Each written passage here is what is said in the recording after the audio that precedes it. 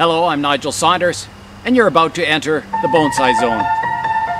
I'm going to start today by doing a quick review of watering cans. This is my collection of watering cans. I'm going to demonstrate each watering can and see the pros and cons of each size and style. I'll start with the largest 5 liter Haws Conservatory can. I'm at the watering hole here. I'll fill up the 5 liter watering can first. This watering can can be very heavy, carrying it from your water barrels to your bonsai benches. And then if you have to lift it up to water, you get a good arm workout. Once the flow gets started, it puts out a really nice gentle spray of water that covers a lot of area. So it's really good for watering your trees, the top of your trees, and the surface of your soil. But it doesn't last long. You'll find five liters drains out fairly quickly. Because of the weight of this can when it's full and the amount of water that you use fairly quickly and the lack of precision when you're watering, I wouldn't recommend this can as your main watering can for your bonsai benches. The next can I'm going to test is the Haws Conservatory 2 liter watering can. This is the main watering can I use on my bonsai trees.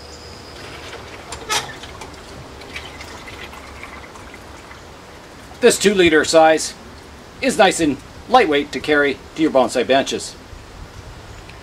The 2 liter size is small enough to get in and water just certain areas of your pot if you want. You can get behind trees, hard to reach places, and the water flow is quite adequate. If you want to give it a good soaking, you have to wait a little while. But it's not too bad. It's a nice fine spray and really good for bonsais. This is my main watering can. I've used this for 25 years and I really like it. The next size down is the one liter watering can. So let's give it a try. You can see the pressure isn't as much because the neck is shorter and the spray pattern isn't quite as nice. It's, uh, you know, it covers a large area. It doesn't really get a lot of water out. Yeah, it's not really that suitable for bonsai.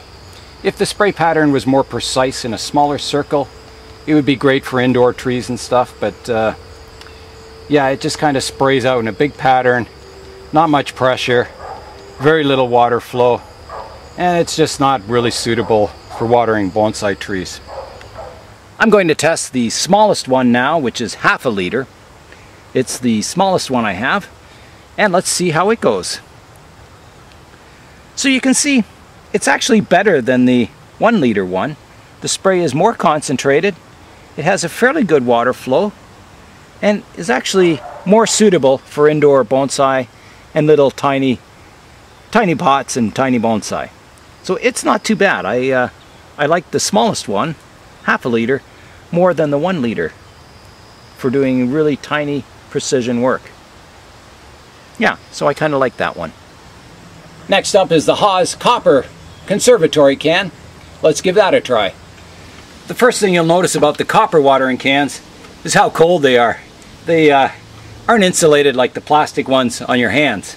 So you can feel the temperature of the water just by picking the can up. Let's try out the copper one now. So you can see it has a very low velocity spray. Covers a sort of a medium pattern and it's very very gentle the uh, the water that comes out. It takes a long time to drain even this small size can. So very fine, fine spray. I mainly use this can for misting inside the greenhouse on a hot day, just to mist the top of the plants to cool them down. The last one I'll be testing is my bottle top watering system. It just screws onto a two liter pop bottle. You just buy these little caps. I'll fill it up. It doesn't have a handle or anything, so you gotta kind of stick your hand in the water. And it takes a while to fill up the two liter pop bottle. So here we go. So the two liter, you can really, it's really precise. You can turn it on and off really easy just by squeezing the bottle. You can get into little small areas. It's quite good for indoor trees, little tiny bonsais, and precision watering. I'd highly recommend it for indoors. You don't make a mess, it's very controllable. These plastic watering cans will last a long time. My first one of these lasted me 17 years, and I did keep it out of the sunlight to preserve the plastic.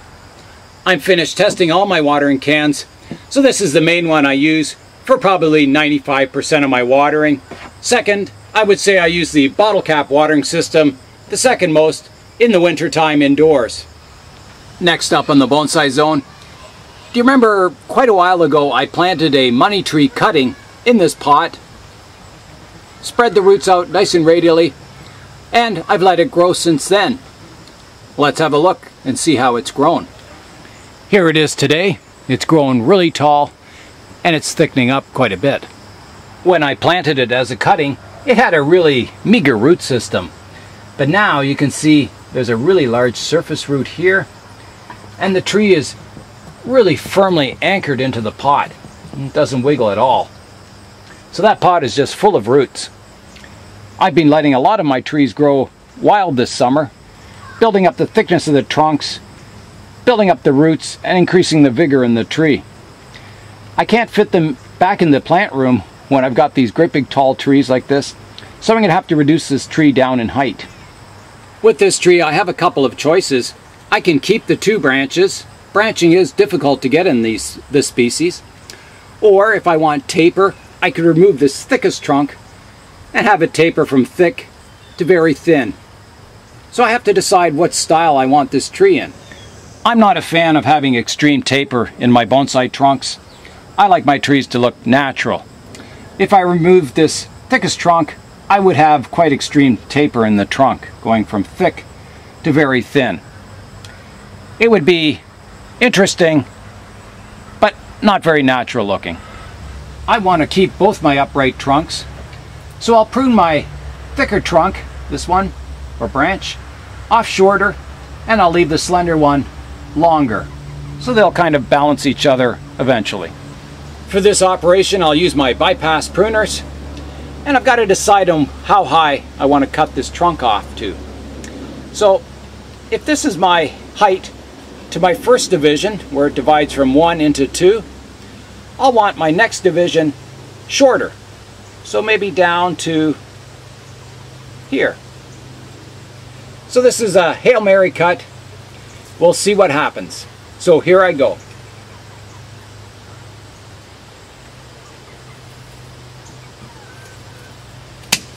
There we go.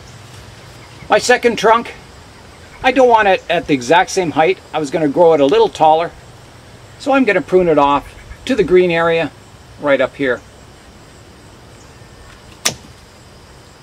There we go.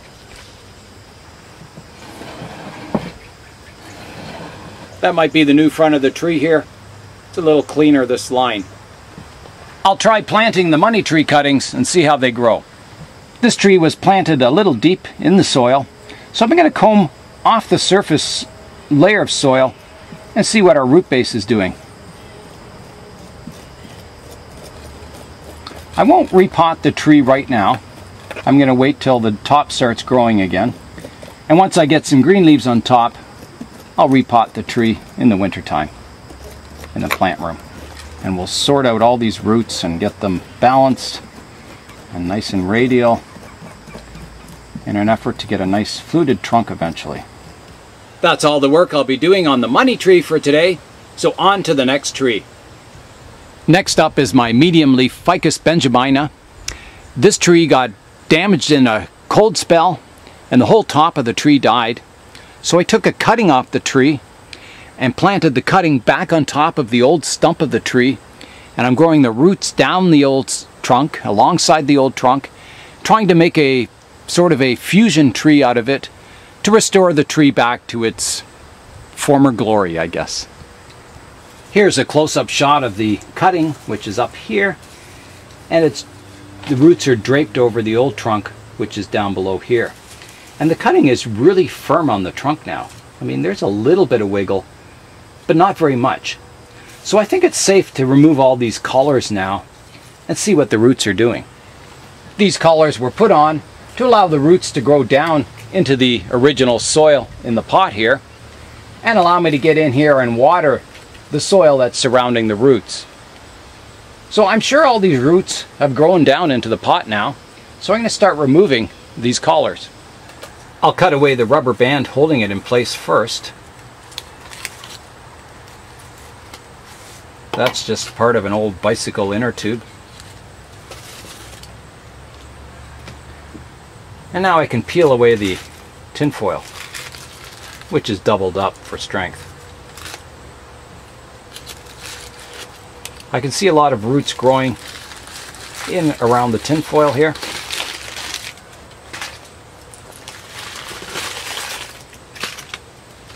It's time now to remove the bottom collar I'll remove all the rocks holding the bottom of the collar in place.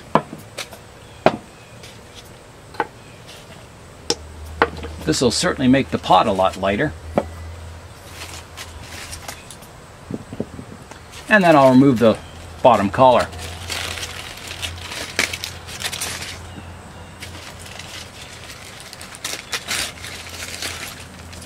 Like that, and a weed. Next I'll start combing out this soil to see what roots we have.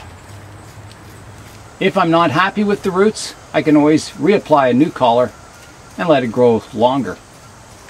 The roots I'm concerned about are the major roots, not these little tiny fine ones. I want a lot of fairly thick roots gripping the old trunk. I'm just cleaning it up to see what we have combing out these roots. There's a view of the root base now. I'm going to give it a watering and uh, just wash a little more of that soil off and then we'll see what condition the roots are in. So here I go with the water. Here's a shot of the tree from the distance. I've got no complaints about the roots. I really like it. It, it looks very very much like a banyan tree with all those aerial roots going down the trunk. And the top, the new cutting, integrates fairly well. I think as those roots slowly start to get bark, they'll uh, blend in better. So I think it was a success. I, uh, I'm happy with the results.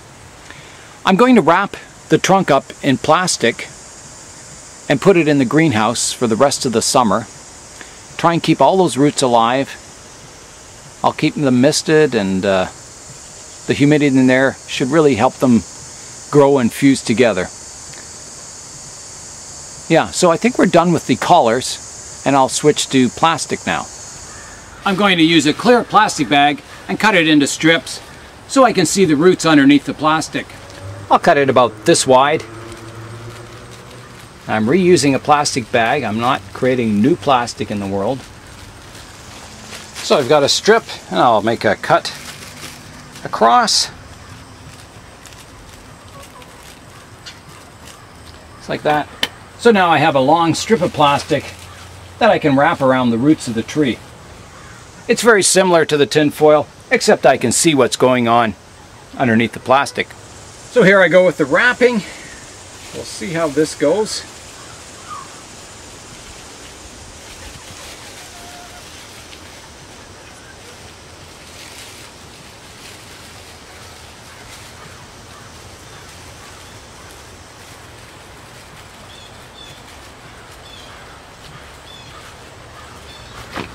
I'll cut some more strips and put it around the base here also. So let's get this positioned here. Around the base of the tree. And I'll wrap it around here. I'll get my rocks and hold the plastic back in place. The planting will have to be heavier for a while longer. Even the rooster agrees. To hold the plastic in place at the top, I'll just tie a really loose bow. I don't want to use string or anything, or it might dig into the roots. So just like that.